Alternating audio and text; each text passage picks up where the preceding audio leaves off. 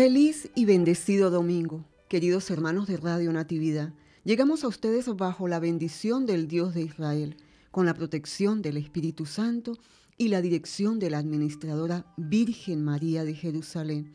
Con gran gozo hemos llegado al domingo número 18 del tiempo ordinario. El Señor nos dice, yo soy el pan de la vida.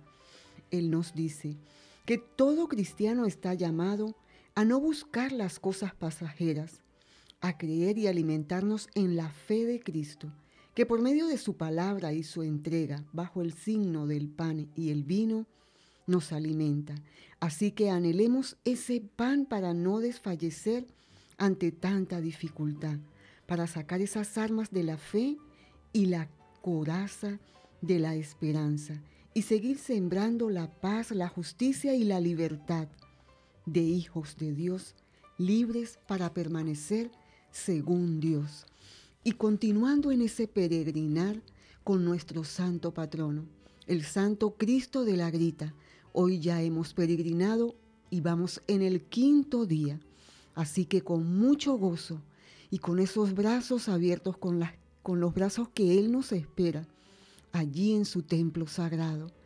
Y vamos de la mano de Mamita María Vamos entonces a dar ese inicio a esta gran novena en honor a nuestro santo patrono, el Santo Cristo de la Grita, el Cristo del rostro sereno.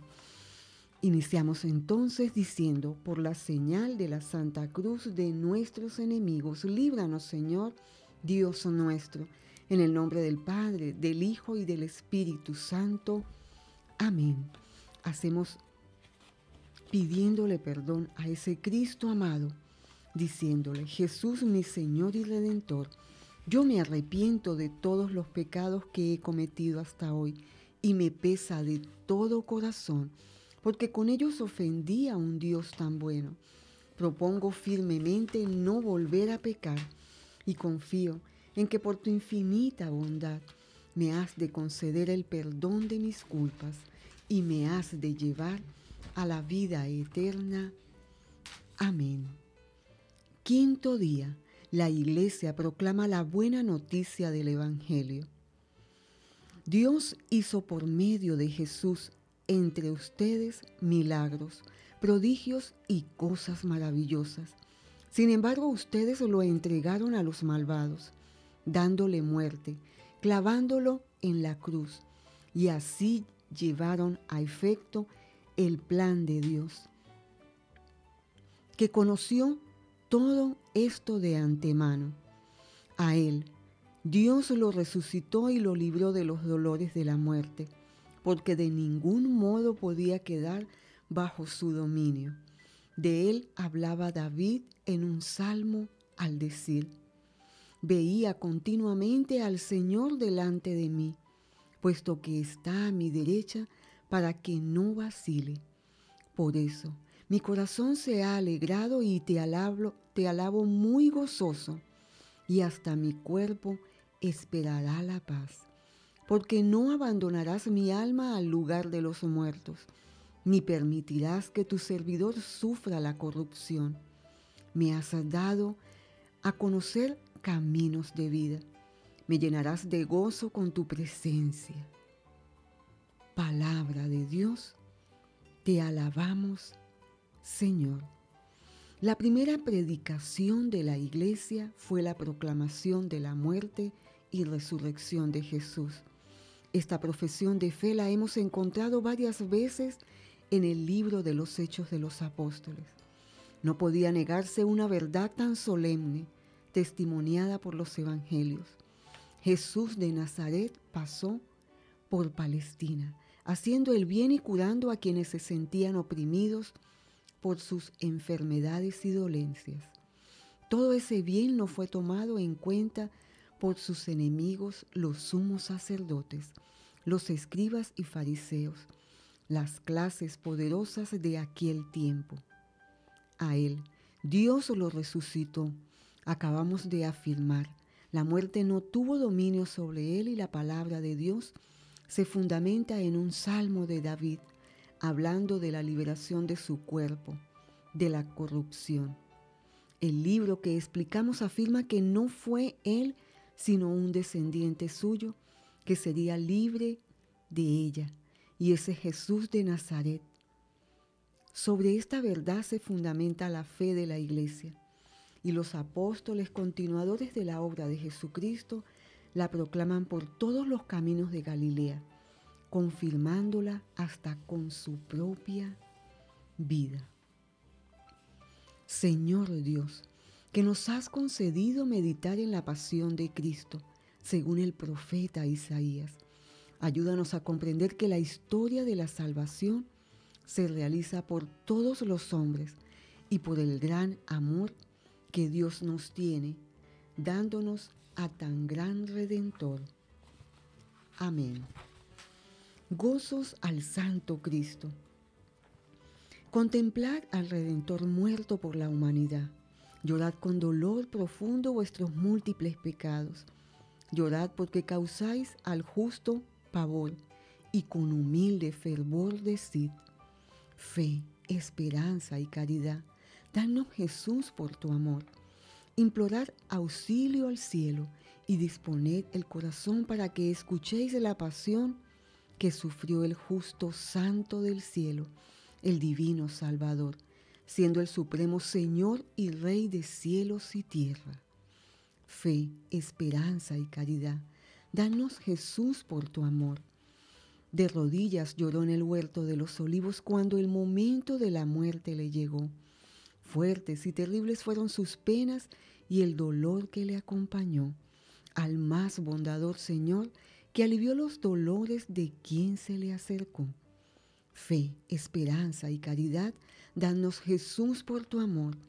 Con gran humildad recibió el Cordero los latigazos, los gritos y humillaciones de quienes lo tomaron preso por llevarlo hasta Anás, siendo el juez, Señor y dueño de la humanidad.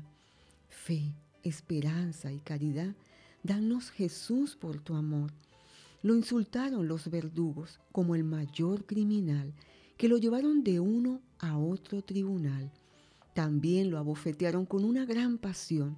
Quisieron también deshonrarlo, colocándole una corona de espinas y una capa de púrpura, inclinándose y burlándose de nuestro gran Redentor, que dio la vida por todos, siendo manso y paciente hasta el extremo del don. Fe, esperanza y caridad. Danos Jesús por tu amor. Los excesos que tuvieron con Jesucristo le llevaron a sudar sangre a raudales por sus grandes y sagradas heridas, que cuando lo llevaron a Pilatos casi no lo reconocía, pero a pesar de todo lo sentenció a muerte como un mísero traidor, condenando al santo, al divino redentor. Fe, esperanza y caridad. Danos Jesús por tu amor. Con la condena de muerte viene luego la cruz que llevó el crucificado hasta el monte del Gólgota. Pocos tuvieron piedad del dolor del condenado, más bien se horrorizaron de una gran majestad ante tamaña afrenta que le hacían al condenado. Fe, esperanza y caridad, danos Jesús por tu amor. Llegó al Calvario por fin y a vista del pueblo entero quedó desnudo el Cordero. Su faz de rosa y carmín perdió su bello color y su expresión de dolor le transformó su rostro en verdad. Fe, esperanza y caridad, danos Jesús por tu amor.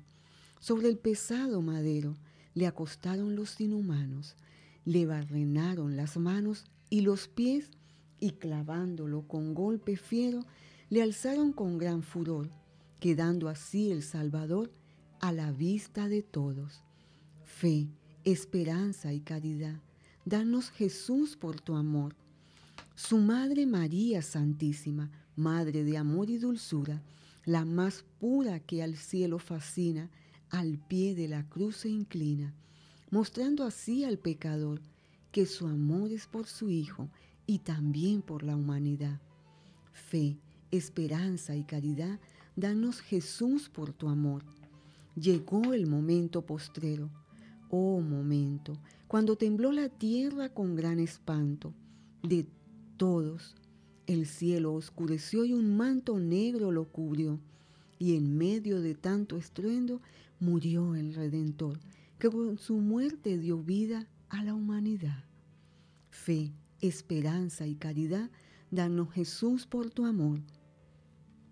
Bendita y alabada sea la pasión de nuestro Redentor y los dolores de su Santísima Madre.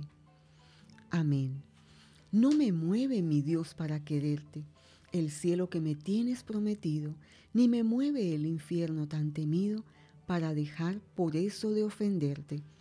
Tú me mueves, Señor, muéveme el verte clavado en una cruz y escarnecido, muéveme ver tu cuerpo tan herido, muéveme tus ofrendas y tu muerte. Muéveme, en fin, tu amor, y en tal manera que aunque no hubiera cielo, yo te amara, y aunque no hubiera infierno, te temiera. No me tienes que dar porque te quiera, pues si cuanto espero no esperara, lo mismo que te quiero quisiera. Amén. Padre nuestro que estás en el cielo, santificado sea tu nombre.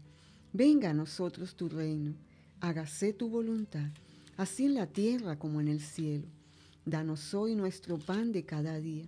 Perdona nuestras ofensas como también nosotros perdonamos a los que nos ofenden.